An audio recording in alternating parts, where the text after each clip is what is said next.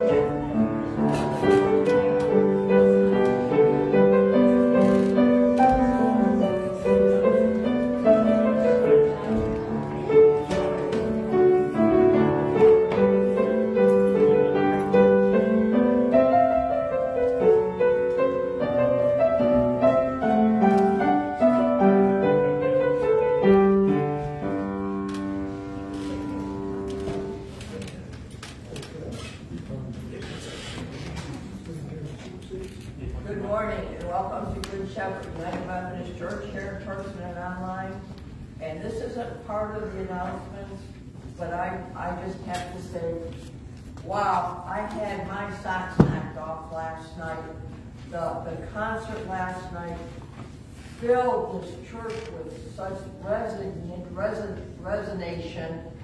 had chills. There was four or five of us here from Good Shepherd. It was truly unbelievable. They're coming back in March and going to put on another concert. Please, when they're here, come see them. You felt the presence of God throughout this whole building. It brought tears to some of the, our eyes. They're singing. And now for our announcement. Today's our second social. Sign up sheets in the back. You're welcome at Anna Sophia's over at Alma and and uh, just west of Kroger's. If you need any help, information, directions, just come see one of us. The balance and strength class is adding a Thursday morning class at 9.45 in addition to the Tuesday morning class. See your bulletin for details. There's a new study beginning on September 17th. It's Common Ground by Amberly Neese. The studies of sibling rivalries in the Bible. The information about the class is on the back of your calendar sheet in the bulletin. Sign-ups are welcome. The book is available at Amazon.com. It's approximately $18 or a few cents less. There's a lot of information on the inserts in our bulletin today. Make sure you check out the information regarding the new study on September 17th, the annual book review and brunch sponsored by the Sisters in Faith on September 23rd. All information is in the calendar insert. In October, it's a busy night. We're going to busy month. We're going to have a chili cook-off and game night and our trunk or treat, and we have sign-ups available um, at the back for that. Also, information is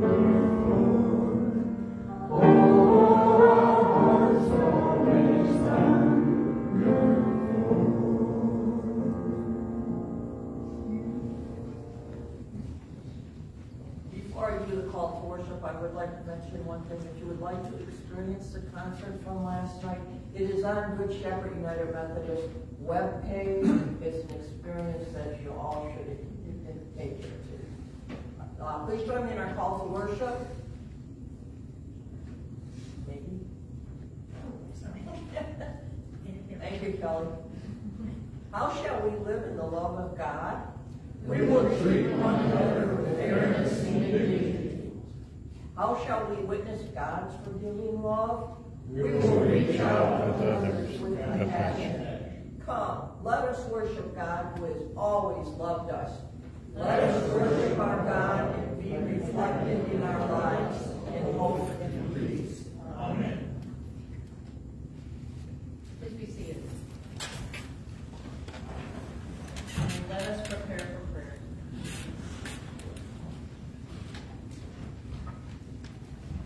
Almighty God, as we begin this day, we know that we have many prayer requests to ask of you. Some of these people have been on here for a while. They're struggling with long-term illnesses, maybe even terminal. And then there are those that are mourning, that ask for the prayer because they are in uh, need of comfort. We pray that you will be with these people, their families, their friends, and know you cover them. You cover them with your grace. You cover them with your love. And you cover them with your healing. We pray for Karen and Ron, for Michael S., Carl, Ann, and Jeannie.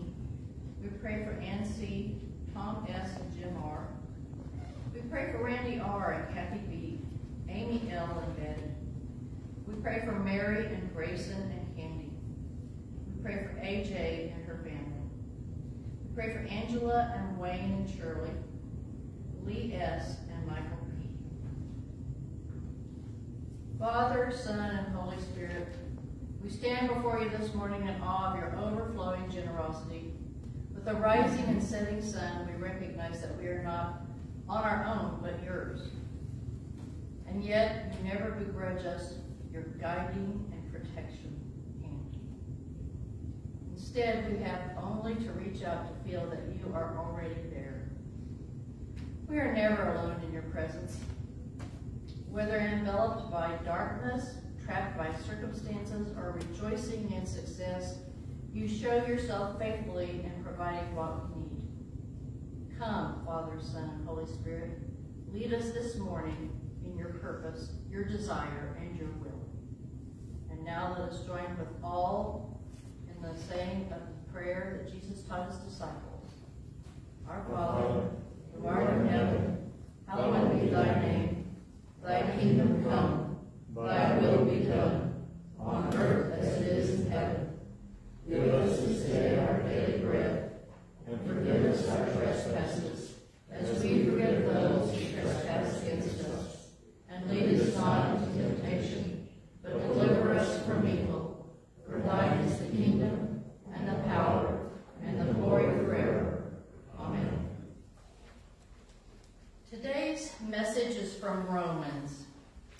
Not Matthew, but Romans. A little change of pace. Um, sometimes I like how people say things better than other people. And I can't really tell you that uh, I think that there is any better voice in the Bible other than Jesus', and that is that of Paul. You know, a lot of people say they don't like Paul. Mostly they're women who say they remember what he said about women here and there and whatever. And I think we need to give him a little bit of a break. He was a first century Jewish Pharisee. He hunted heretics. He lived in our cultural in a cultural society that was different from ours, and uh, very patriarchal. Ours is only real patriarchal. And uh, so, you know, it's kind of one of those things where uh, things change as the world, we discover things. You know, we used to think that um, if you caught the measles, you were going to die. We don't do that anymore. We used to think that if you caught cancer, you would die. That doesn't happen anymore. A lot of people, a lot of people. And so we know that. You know, I, I, here's my, my funny one because I, it was mentioned to me in the last week. But, um, used to be that if you went to church with white on after Labor Day, oh, it was wrong. You know, and, and, and that's away. Women wearing pants used to be such a scandal. Being divorced used to be such a scandal. So see, you can see how that kind of happens. If we, we go through things, we experience things, we grow in things, things don't become a priority. We don't need to judge people anyway, but you know, just for the, the heck of it. But this is, this is kind of what, uh, Paul gets, people get hung up on Paul, but that, that's because they're, they're reading it literally instead of contextually. So we need to remember that this was the first century, it's not now. So, we're going to read, uh, Romans thirteen, verses eight through fourteen. And we're gonna find out a lot about love. Owe no one anything except to love one another, for the one who loves another has fulfilled the law. The commandments, you shall not commit adultery, you shall not commit murder, you shall not steal, you shall not covet, and any other commandment are summed up in this word, love your neighbor as yourself. Love does not wrong to a, does no wrong to a neighbor, therefore love is the fulfilling of the law.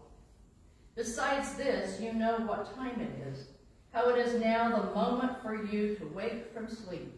For salvation is nearer to us now than when we became believers. The night is far gone, the day is near. Let us then lay aside the works of darkness and put on the armor of light. Let us live honorably as in the day, not in reveling, drunkenness, not in debauchery and licentiousness, not in quarreling and jealousy. Instead, put on the Lord Jesus Christ and make no provision for the flesh to gratify its desires. This is the word of the Lord. Yeah. That says it all. It really, really does. You know, um, Paul traveled constantly, and this was his last letter. He's in a prison in Rome. He knows he's going to die. Pretty sure going to die. But he traveled widely, widely. He went all the way up north into Syria, and he went way over into Jordan, and he went way down in the Negev, the lower part below Bethlehem and, and uh, Jerusalem, and all over, starting churches. Tarsus is in Syria, and it's pretty far up. You can't get pretty much, that's it. Turkey's on the other side. So uh, he, he went everywhere. And in that traveling, he learned a lot about people.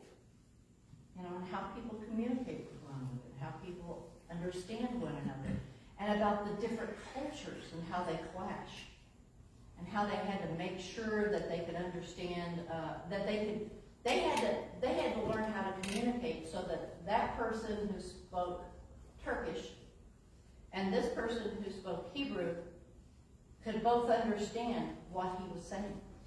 I mean, he had a lot of experience with people. And that he brought to this book. He brought all his experience, not only his experience with all different kinds of people, but his experience with Jesus. Because you remember, he went out in the desert after he regained his eyesight. And supposedly that's where he and Jesus were, and he was learning all about what happened. You will also notice that Paul doesn't talk a whole lot about Jesus' stories. He left that to the Gospels. They had a couple, Mark had already been written by then, but um, he was interested in what happened because of Jesus' resurrection. That's really where he starts. Jesus was resurrected. He loved us that so much. And so this book is the compilation of all of his like theology. And it's so solid. I can remember, I don't know how many times, having somebody say, well, what about the Ten Commandments? And this is what I say. We already, we're fulfilling them if we love one another. We don't have to have, we don't have to judge people on what, what they do. We're fulfilling it because we're loving our neighbor as ourselves. Wouldn't we want to be forgiven? When we let, want to let that slide and find a real person underneath all that? That's kind of what they, he is talking about right there. And it's something that um, the Hebrew, the Jewish people had trouble with when they converted to Christianity, the slow process of actually becoming another religion. And they had a problem with leaving all that behind. So Paul's theology was specifically for them to understand exactly what's going on.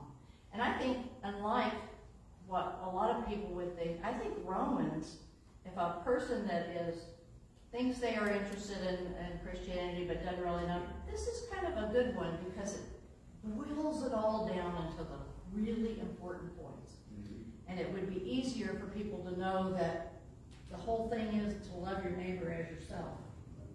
The first one, of course, this is out of Leviticus too. I have to tell you, this is not Jesus' original. This is out of Leviticus 19:18. And if you want to know where love God with all your heart, soul, and mind, it's in Deuteronomy. So we have, it's not original thoughts of Jesus. He's not starting something new. He's finishing something. Okay. So that's what we have to listen to. We have to listen to the Jesus in Paul's writing. So, uh, let's see, what was I going to say? Oh, you know, the thing that I think that he says in here that is so important about the fulfilling of the law, we love one another, and uh, love your neighbor as yourself. Love does no wrong to a neighbor. Therefore, love is the fulfilling of the law.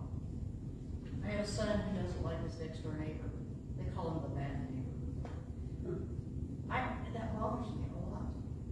And I have to say, you know, if you ever tried being nice? Well, he's not nice to us now. I don't even talk to my son about. Okay, anyway. That is, if we do no wrong to our neighbor, we're doing what we're asked to do. That's all it is. This is so simple. That's why, you know, I sat there and thought about it for a long time. I thought, I don't know what to say. That just says it all. I mean, if anything, these these two things should be written on our heads. You know, you know, like uh, the okay, phylacteries, the little boxes that the Jewish people use, and they put scriptures in it. Pull that out. Okay, love my neighbor. Okay, now I'm not mad anymore. but um, but anyway, all these laws were supposed to uh, be for the reason of protecting and loving your neighbor. 613 laws in the Old Testament, and that's what they were supposed to do. Love your neighbor, love God. Love your neighbor, love God. What happened? Humanity. The Pharisees used those kind of a, in a heavy-handed way to have to make judgment on people and to conform people. Because if you judge somebody, you're conforming them to something that you expect. Okay, and Paul understood that conformity doesn't work. I mean, he traveled to all these different places. He knew how these cultures, you have to live within the culture. And he knew that conformity would not work. So, all it does is make up divisiveness. So everything in this passage points to goodness. Did we hear goodness? Oh yeah. When God created the world and everything was good, and when God created man and everything was very good. Wow. We're supposed to be very good. So what happened? You know, the goodness. Here's the things I, I read in that. Love one another. Live honorably. Boy, that's a tough one days, today's. If we want to live honorably, we've probably got to cut off the social media. You know, if put on the armor of light means not being dark. And putting on Lord Jesus Christ. That's what it says in there. Now, why would we want to do these things? Now, this doesn't sound very good if you're kind of self-possessed. Why should I love everybody else? Why don't everybody love me? You know, that kind of thing. Do a lot. But if we lived in this way, our interest in humanity would come out of our love that we want to share. And we care for one another. And the laws would care for everyone's welfare. Right now, power and greed by some have made have, have had more to do with lawmaking. And the deals are made, and the privilege is in being in the. And not all the time. But when money is the prize, it is so easy for us to legitimize and rationalize our participation. You know, because they'll make a law and maybe we like the law, so we're participating in it, and maybe we don't like the law and we're seeing the flaws in it. And the problem is ours. Because we have to tell our senators and our representatives what we want. And we've lost that. You know, we're so many and it's so big and we don't, we don't do it anymore. I know some people who do. But when you see this kind of behavior, it's hard to say, you're loving one another, you're living honorably, you're putting on the armor of light, and you're putting on the Lord Jesus Christ, and you claim to be a Christian.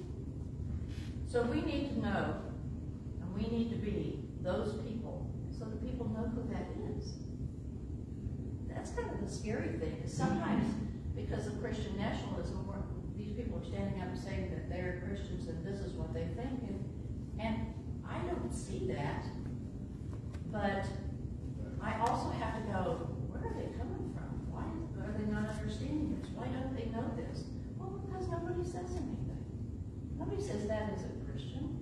Now, we can't say that like in a judgment way, but we can say, you need to go back or you need to come with me, or here, let me tell you the scripture in the Bible, or whatever. And they're probably going to come back from something from the Old Testament. I have found more times than not people who want structure will quote the Old Testament. They have forgotten that there's a new. But the task before the church, and I mean with a big C, all churches, is nothing less than working with God toward the transformation of the world. That's our job. How are we doing? Are we helping transform the world? Or are we just sitting here and doing our thing and saying, oh, well, I already did that, I'm not going to do that anymore, or I'm not going to, I don't want to do that anymore, I'm retired now. I've heard that one a couple of times. Okay, here's the deal. Because of what God has done, is doing, and will do for us in Jesus Christ, we live with always having the possibility of genuine transformation.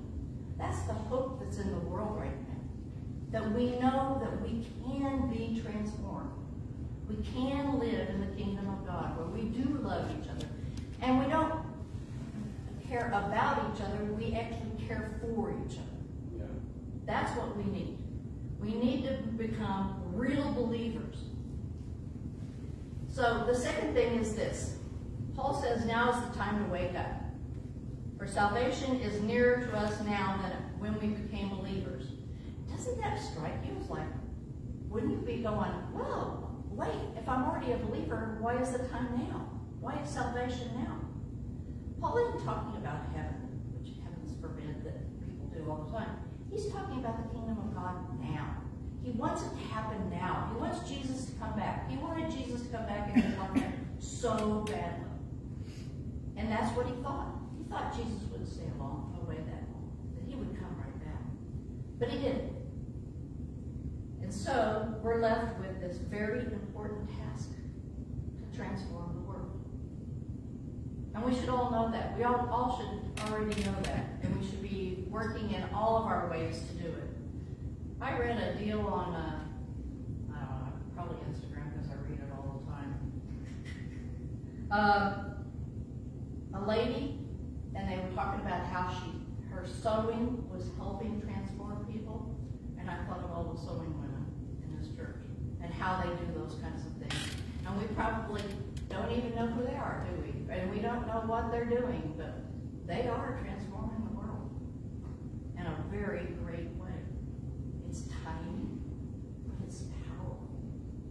And that's what we need to realize, is that we have gifts that we can use for people, that we can be that transformative idea just by who we are and what we proclaim. Because the kingdom of God is all about peace. Wouldn't that be interesting? A world without war. You know, at any one time, I think they said there, the, the average is 25 world wars at any one time in the world. And some of them, like the one in Greece and Macedonia, guys have been fighting forever. But that's what we need to recognize is that it's peace. It's everybody with a full belly, everybody with a bed, everybody with anything that they need. And if you think about it, because of who we are, we have all those accommodations. We are the privileged. So why can't we give to the unprivileged? Because we think they don't or they're not worth it. Judgment. I bet if they had a, this is like what I talked about last week, I bet if they had a bed and a full belly, it would be easier for them to live and not be odd to us or scary to us, for them to be able to get a job. Like I've told you before, ninety percent of the homeless that, that are in Collin County have jobs. Ninety percent. But they're low paying enough jobs that they can't get an apartment. They can't put a deposit down. They can't get into it. They can't buy a car because then they can't make a car payment, much less save up the money to buy a car, a junker for hundreds of dollars. Because most of them have children, especially the women. And the women get the lowest paid jobs. I just read on the, uh, news that some woman went in and, get a job and they offered her hundred and seventy-five dollars an hour. And, uh, she just happened to have a male friend who also went in, and they offered him two hundred and fifty. So if we think it's gone, it's not. This was like that last week. But anyway, those women are working hard with their kids in school. I have, uh, my, my youngest son's girlfriend works in a, uh, Richardson, east side of Richardson. It's a poor area. You wouldn't believe how much those teachers spend to feed those children and to give them the supplies they need and shoes for their feet and things like that. They are transforming the world. It's little, but it's mighty. Those children learn to understand and that not everyone is the same and disregards them and that they care about them. So there's lots we can do, lots we can do. And we need to make sure that we continue to do it and that it always becomes something that we can understand how to do. And we need to remember Romans 13, 8 through 14, that if we want the world to be transformed, the time is near. It is today. Amen.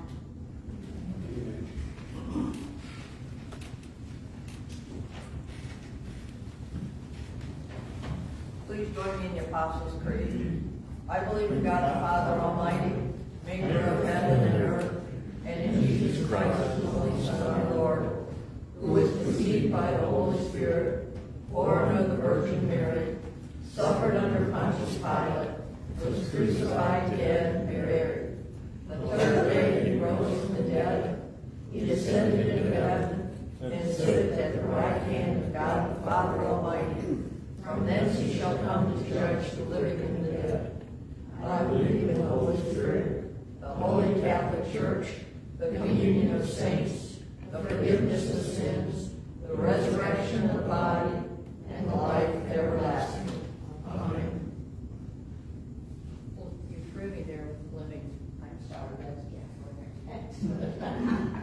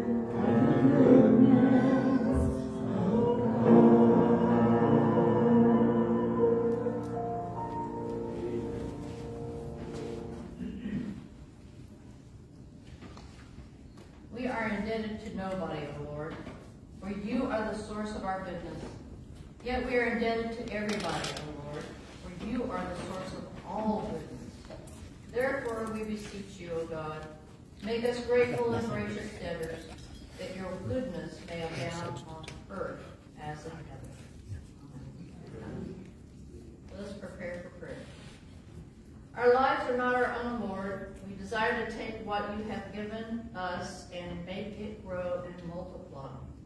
You have the authority over everything, and so what seems risky becomes safe because you are here.